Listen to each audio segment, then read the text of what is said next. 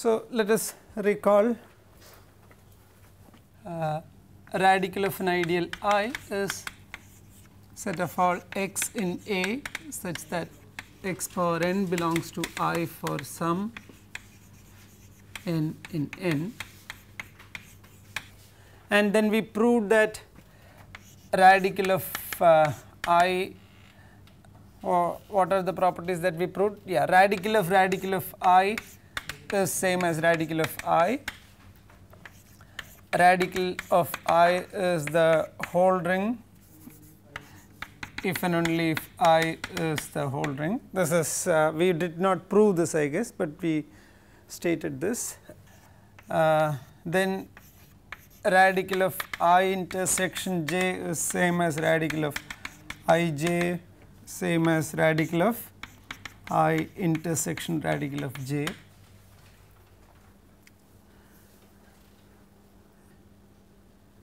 Yeah. So, now what can you say about radical of i plus j? Okay.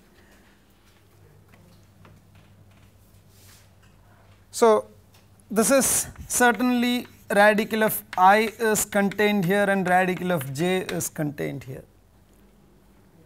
Therefore, their sum is contained here. So, the natural question is whether they are equal. Okay. So, we need to check whether if I take an element here it is here.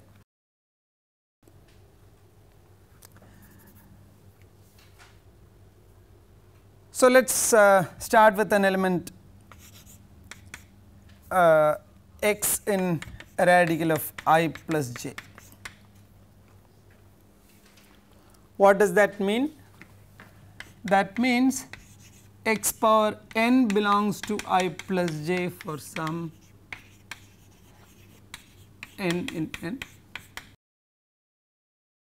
So, the question is whether we can say that you know this x power n is can be written as some a plus b where you know a belongs to some power of a belongs to i and a power of I mean whether this x can be written as the question is x can be written as a plus b where a belongs to radical of i and b belongs to radical of j or in other words some a power m belongs to radical of uh, sorry i and b power uh, some n belongs to j.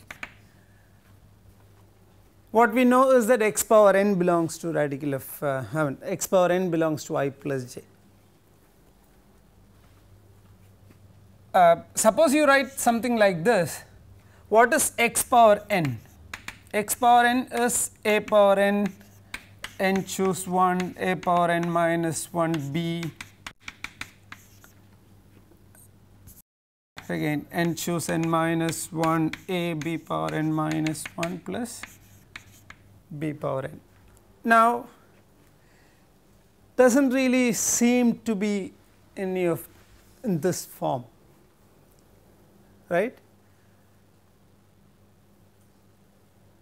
So,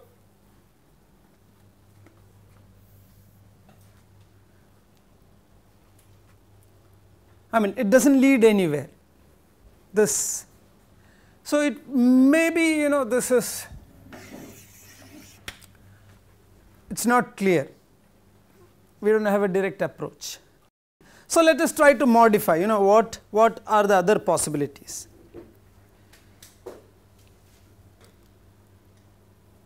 So, radical of this is contained here.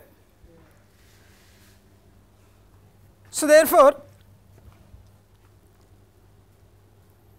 if I take one more radical on the left uh, on this side right hand side what do I get?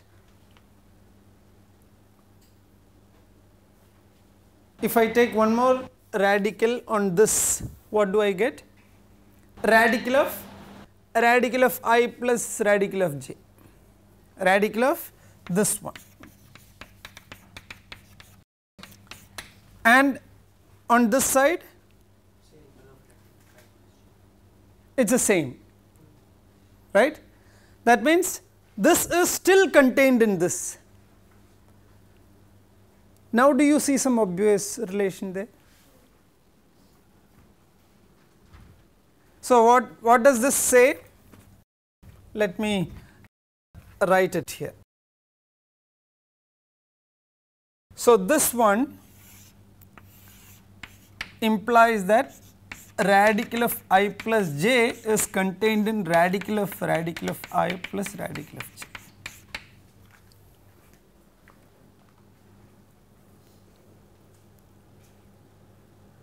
Now, do you see some obvious relation here?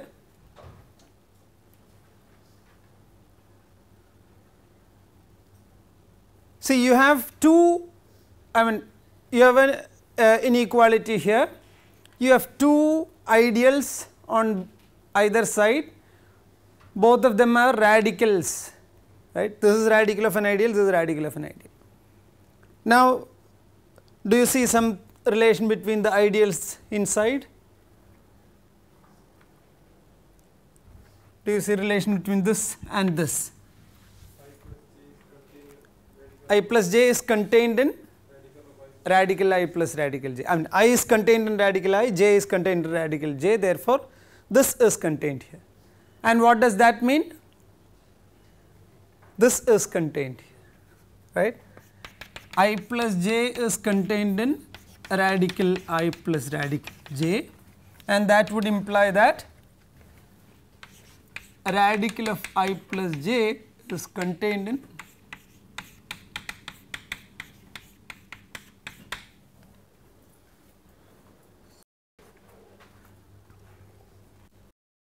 So, what did we prove therefore?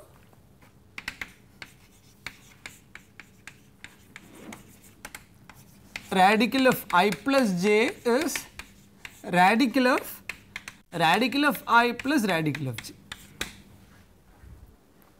could have just used that property again. Which one? Uh, the that you yeah. Taking I as radical of I and J as radical of J. Huh. Ah, so wha- wha- what are you saying? Ah, so we have we have only used those two properties, right? This No, I'm saying that only using this property we can do. uh, We can use this again. okay. Substituting I as radical of I and J as radical of J. Ah, okay, yeah. So from here you can say radical of, uh, uh, I mean, radical of i plus radical of j. Huh, and this is obviously contained here, yeah. Yeah, these two are, uh, I mean, both of them follow from the basic properties of radicals itself. Okay, so that is another uh, property. Now, what can you say about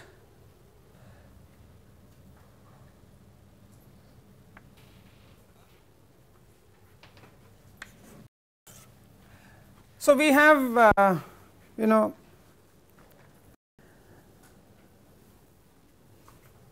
if I take a prime ideal and look at radical of this, what would be this? Can we say something about this? First of all, can we say that P is, can we see that P is contained here? If I take any element in P, say x, x power n belongs to P power n, therefore x belongs to radical of P power n. Therefore, this contains P for sure.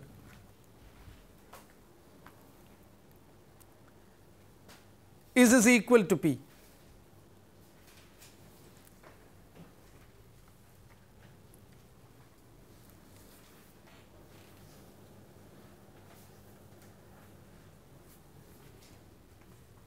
Did we prove something about radicals?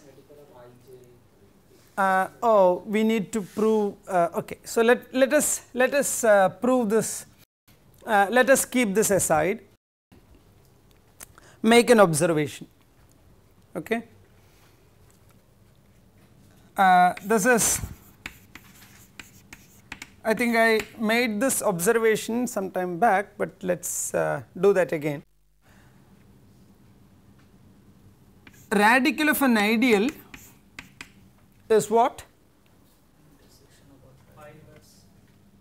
Yeah, this is phi inverse, phi is the natural map from A to A mod I, phi inverse of nil radical of A mod I. Now, what is nil radical of A mod I?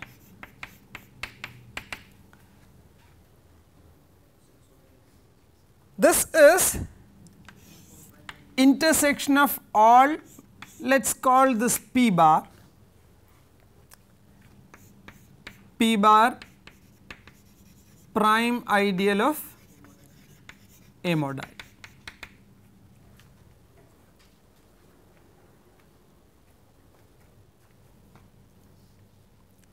what is the relation between so if I have a collection of ideals uh, suppose I have a ring homomorphism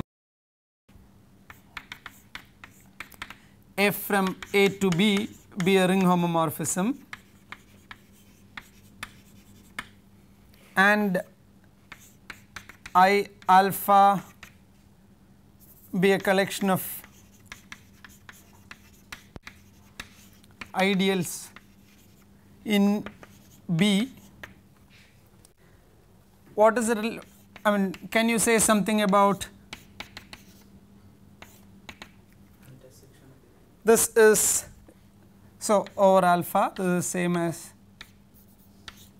f inverse i alpha. This is uh, in fact basic set theory. Okay. Now, so let us apply this here what do you get? What is f inverse of the nil radical? I mean phi inverse of the nil radical.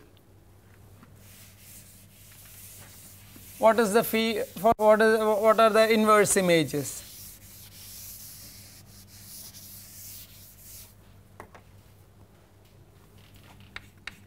phi inverse of nil radical of A mod i, this is equal to phi inverse of intersection P bar, P bar prime ideal uh, in A mod i. This is same as intersection of phi inverse P bar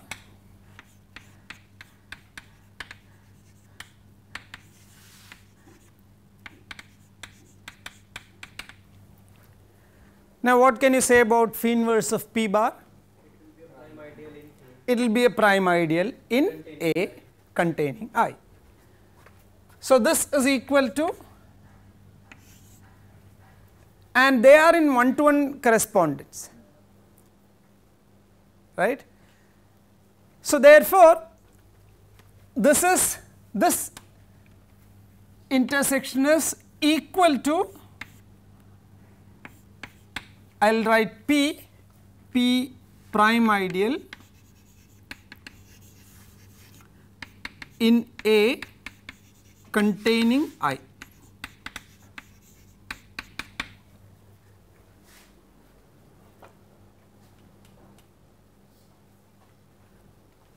So, where did we start with?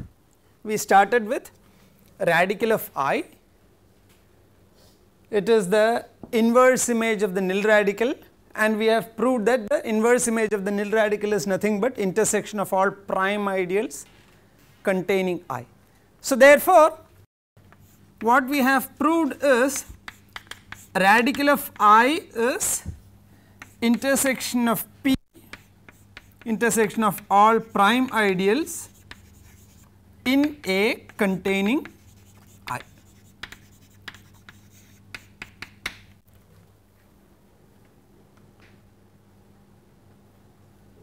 Is this clear? It is the intersection of all. So, radical of an ideal is intersection of all prime ideals containing that ideal. So, now let us get back to this property. Radical of p power n contains p. Now, by this property what is radical of p power n? It is the intersection of all prime ideals containing p power n. Can you think of some prime ideal containing p power n? P, right? P is a prime ideal containing p power n. Therefore, this is intersection of all prime ideals containing p power n and p is one such prime. Therefore, this is contained in the in all the elements in the intersection in particular p. Therefore, this is contained in p. We have already proved it is it contains p. Okay. So, radical of uh, yeah p is a prime ideal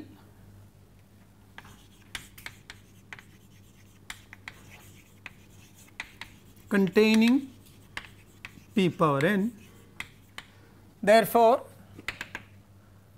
radical of p power n is contained in p.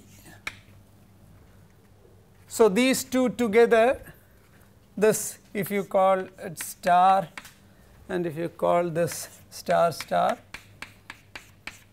then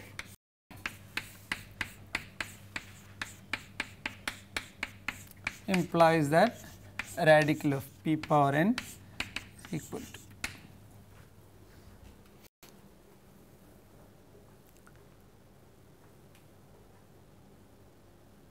okay there was uh, radical of ij is which one uh, there was the properties were written ah, radical of ij is equal to radical of i intersection radical of j if you use that fact here huh so uh, radical of p to the power n is radical of p yeah radical of p huh and radical of p is intersection of all prime ideals containing p so huh so and p is itself a prime ideal containing p then radical of p is actually equal to 4 So, what we see again what you get is a containment right? Radical of p is contain radical of p will con, uh, contain p right? And you are taking a product there.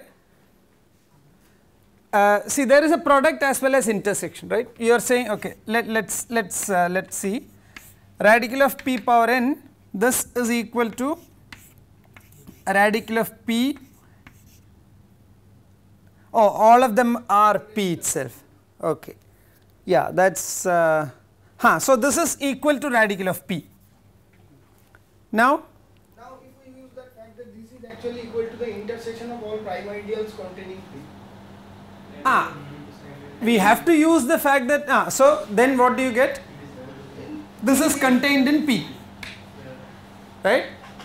And then this is containing why why should this ah p is all p is contained. And we have proved exactly just that it, we did not use this property we simply observed it from here. Okay. We have to ultimately we have to use this this fact. So that is there in the middle. The other side other two sides you can use uh, any of the properties. But yes this is another way to observe this uh, property.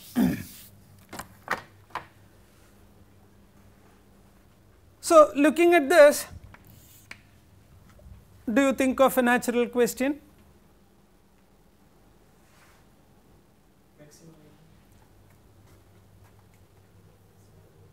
Yes radical of what do you want to ask? What would be radical of maximal ideal by the way? It has to be this itself, right? Because it, it will contain M and we have proved that it is the whole ring if and only if this is the whole ring. So, therefore, this has to be M itself. Okay. Now, so let me see radical of an ideal is intersection of all prime ideals containing that given ideal.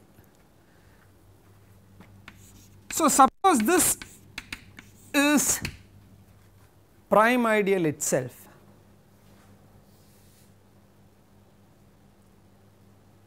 Okay. Can we say something about I or you know what would be natural question to ask about I?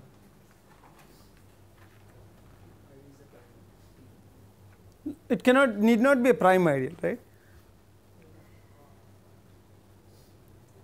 So, the does this imply I is some power of a prime?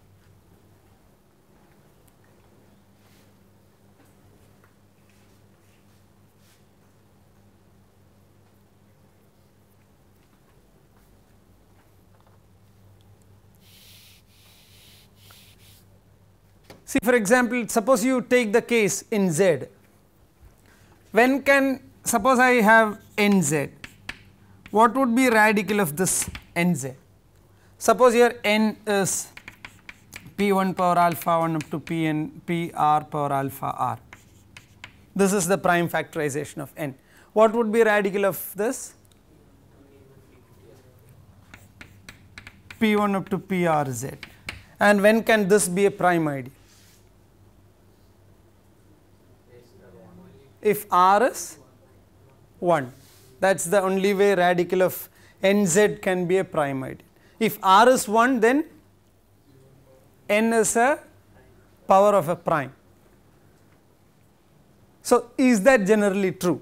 This is something think about it we will uh, address this question sometime later, but it is nice to experiment with uh, you know this question try to uh, understand.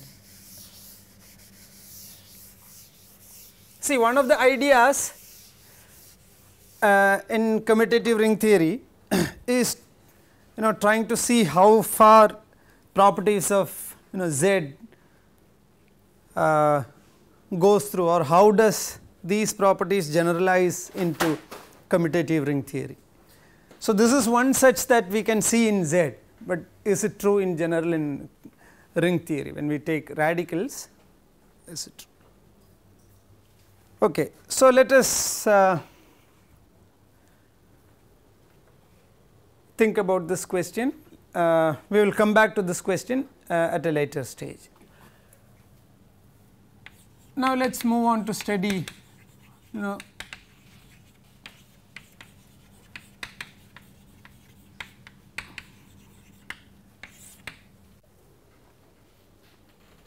if I have a ring homomorphism f from A to B be a ring homomorphism.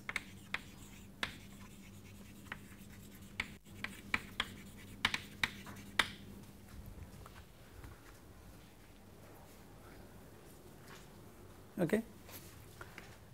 Suppose I take an ideal, let us take an ideal I in A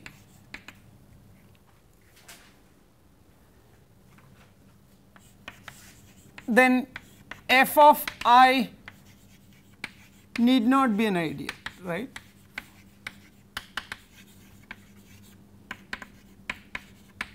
This we have already seen, we have uh, you can take a lot of examples. And uh, whenever and most often if you take uh, yeah z to q is one uh, quick example. Even if you take any of the uh, you take any ring homomorphism which is not onto we can find this you know you do not really need to uh, do only with z and q take you have seen lot of examples of ring homomorphisms now. So, take one of them which is not onto and that will give you this one. But then this set is relevant and we uh, say let I e be the ideal of B generated by f of i. What does that mean? That is I e is set of all x i or you know a i f x i. I from 1 to n. A i in b. X i in a. Uh, sorry x i in i and n in n. I take all finite linear combinations of these elements. It is basically the ideal generated by this set. It is like vector space generated by this set. It is the same thing okay, in the case of uh, ideals.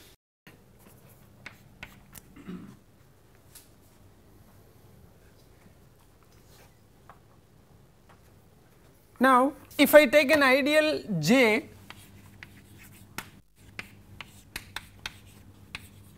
be an ideal J in uh, B, what can you say about F inverse of J?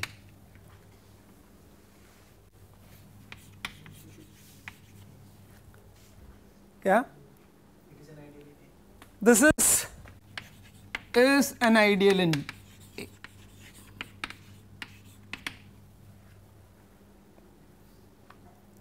right. So, this is denoted by contracted I uh, J contracted. So, this is see E is for the sim uh, for extended we are extending I to B in some sense or here we are contracting J to A. This is denote F inverse J by J C. So, imagine the situation. I have A to B, I have I here. That is f of i b. We will write it. This is basically i extended. Now, I have j here that comes back to a by f inverse of j which is also denoted by j contracted. Yes. This is just to uh, show that this is the set of all linear combinations of of elements from here and here. If you look at this I e that is it is of the form B f i. You are doing that under the map F, right? Yes. But I goes to F of I. Yeah. So, I am looking at yeah i goes to f of i, but here I am talking about the correspondence between ideals in A and you know through this extension and contraction. If I look at only f of i, this is not an ideal. So, we can relate i with i e, i extended. Okay. We are only I am not saying that this is okay this is not I should probably do this. I look at this connection between ideals here and ideals there. I goes to I extended and j goes to j contracted. Aha, that is the natural question right. We, we have two ways of moving right. One I start something here, go there and come back. What do we get? Similarly, I start with an ideal here, come back here and then go, go back again, extend it. Do you get the same ideal? First, let us look at one or two examples. Again, you know the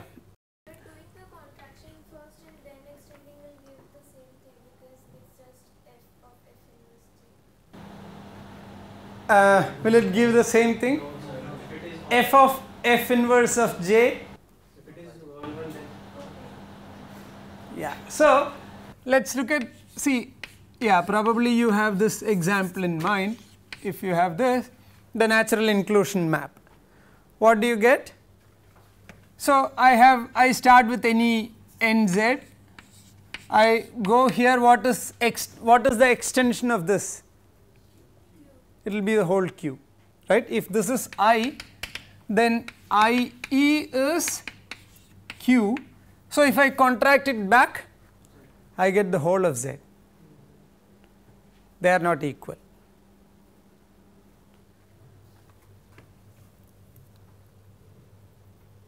Now suppose i take z to zx the natural inclusion map n is mapped to n itself. What do I get? I start with an nz here. What is its extension here?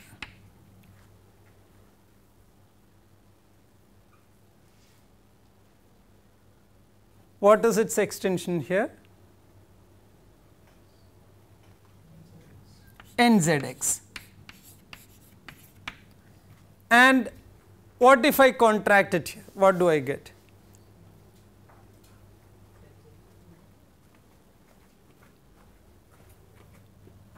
If I take, so this is, so this is my i, this is my i extended. So I send it back, I extended and I contracted. I nzx come back to this one. What do I get? Do I get nz or do I get anything more? So the question is what are the integers in nzx? What are the integers available in nzx? So okay, before going into this one, let's make a simple observation that will you know simplify this question. Suppose I have a you know if A is a subring of B,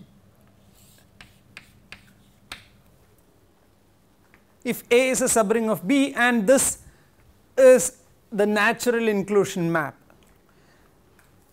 okay, and if I have an ideal I here, then what is I E is nothing but I B right? I look at all B linear combinations of elements of I.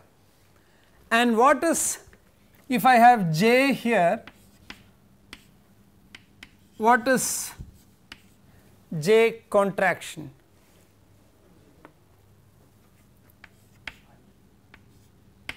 No forget about I here.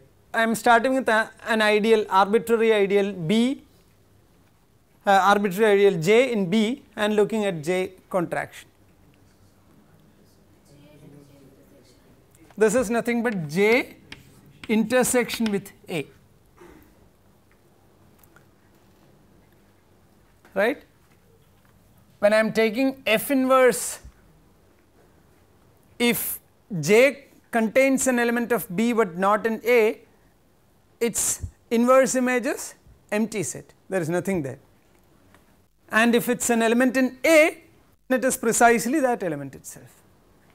So therefore this is nothing but j intersection A. So, let us come back to this one. What would be its contraction here? It is set of all integers in nzx. What are the possible integers in nzx? It's basic uh, that's uh, that requires a proof, but this is intuitively it is clear that it is nz. All integers in nzx. What is nzx? It is collection of all polynomials whose all coefficients are divisible by n. Okay. Now, it should contain nz naturally. Now, can it contain any other uh, natural number I mean any other integer? See it is by definition it is it has to be uh, if, if an element is there n should divide there. So, therefore, any element there is a multiple of n. So, therefore, it is all integers or nzx intersection z is precisely nz. You wanted to ask something? No, okay. Okay, so now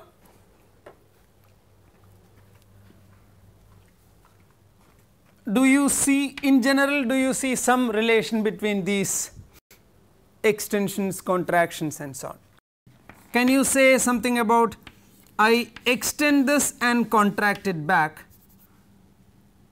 Can you say some see I have an ideal I, I extend it to B and so this is in general. So, let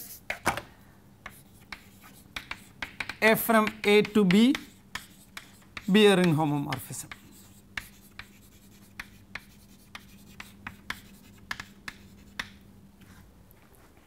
Okay.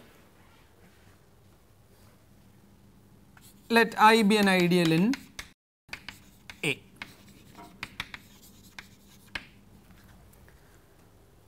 So, I extend it to B and then contract it.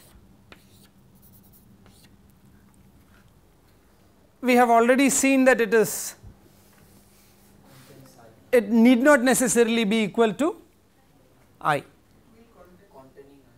It will contain I, right. This is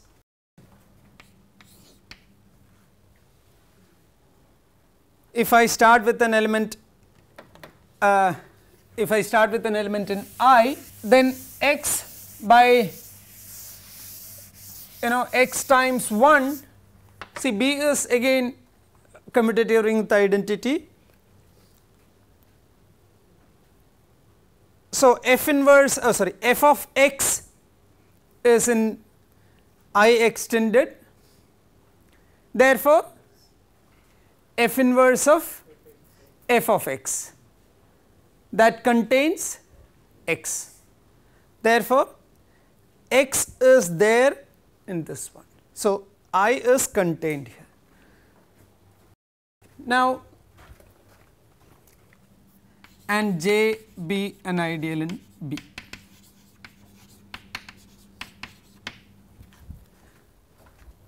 Therefore, what uh, similar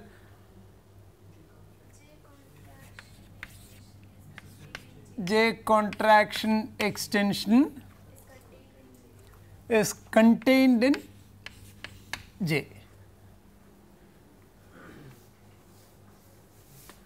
If I start with element x in J contraction extension,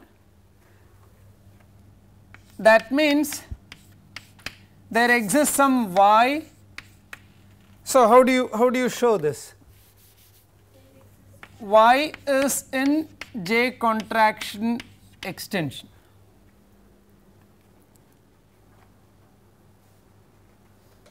Now, I want to say that y belongs to J.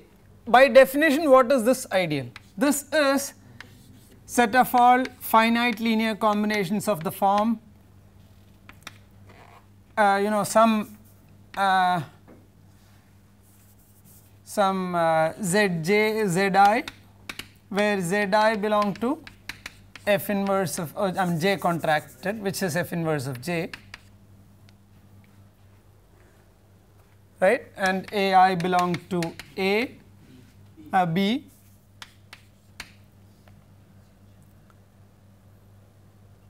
Uh, eh, sorry f of f of j contracted.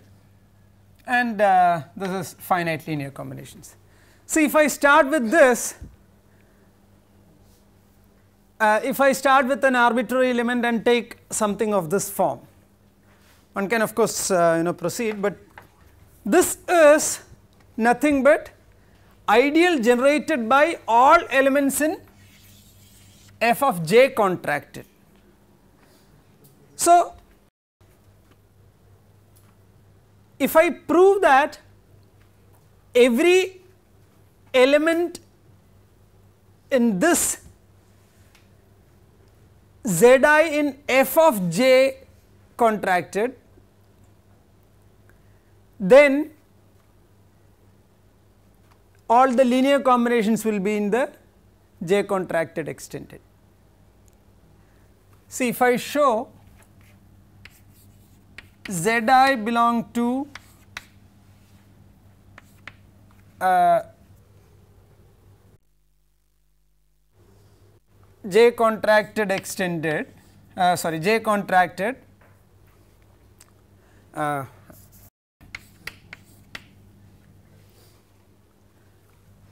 this implies z i belong to j.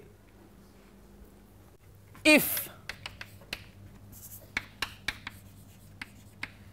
if I show this that will naturally imply that this will imply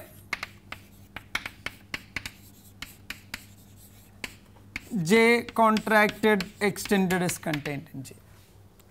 Is that clear? I do not have to take all elements of this form. If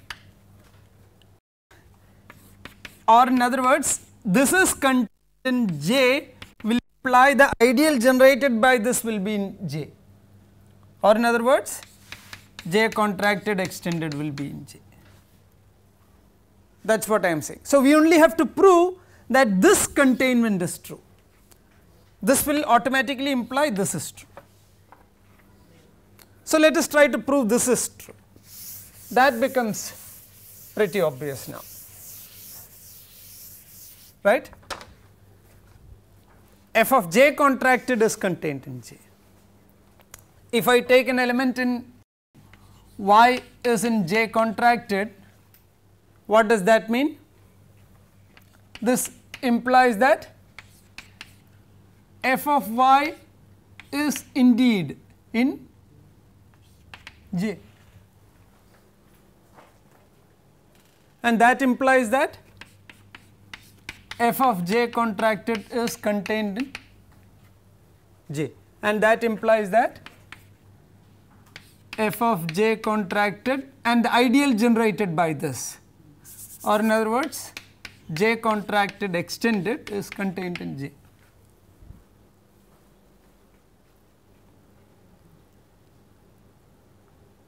Okay. Is this clear? So, the second, so here what, what did we do? To prove that an ideal uh, let us call is uh, call uh, I 1 is contained in an ideal I 2, we only have to prove that generators of I 1 is contained in I 2. If all the generators of I 1 is contained in an ideal I 2, then the whole I 1 has to be in I 2. So, that is the idea that we have used here. The generators of I, J contracted extended is nothing but f of j contract. So, to prove that this is here we only have to prove that the generators are in j and that is exactly what we prove. And this is a trick that we uh, will keep using in future as well whenever when we do module theory as well. In the modules if again same thing if a module is contained in another module can be proved using the same trick. Okay, so now can we go one step further? What do we get?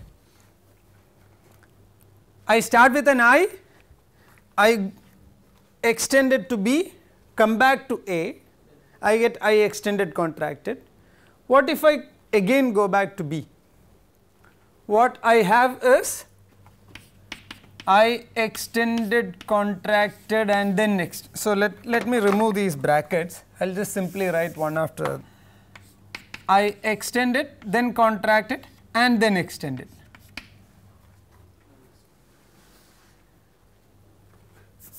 So, by the by this property see I extended contracted is it contains I. Now, if I extend this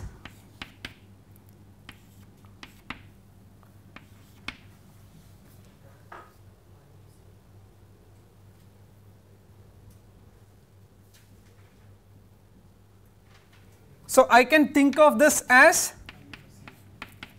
I extended this contains this is contained in I extended right.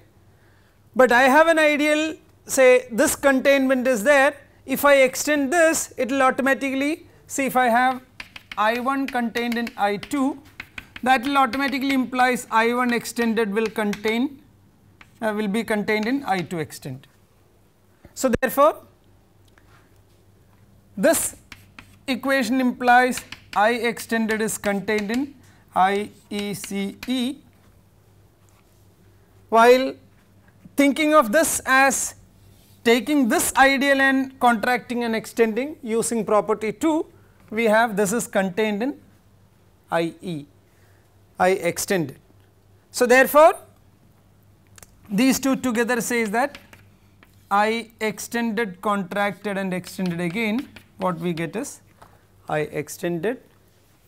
Similarly, if I take uh, so this is property 3 so this is equal to I extended property 4 is I take J contract it extend it and contract again what should we get? J contraction. That is again natural. Uh, try to prove this this way. And there is one more uh, property. So, if uh, if C is the set of all contracted ideals of A. That is all I mean some f inverse j for some j in A. And B is the set of all extended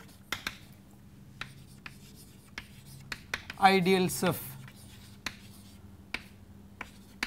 B. Oh well, I am using same notation. So, I will uh, E is yeah. Then do you see some relation between these two?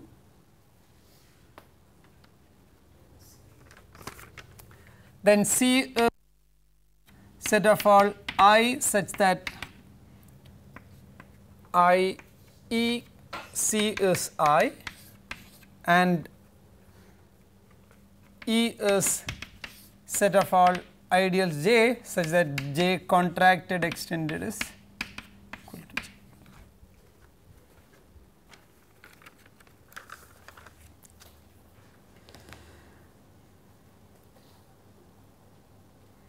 Okay. Okay. So, we will start module theory in the next class.